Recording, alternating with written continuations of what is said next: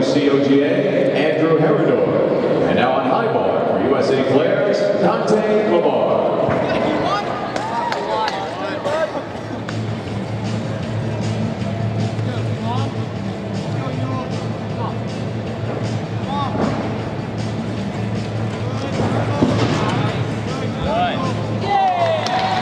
Kiwan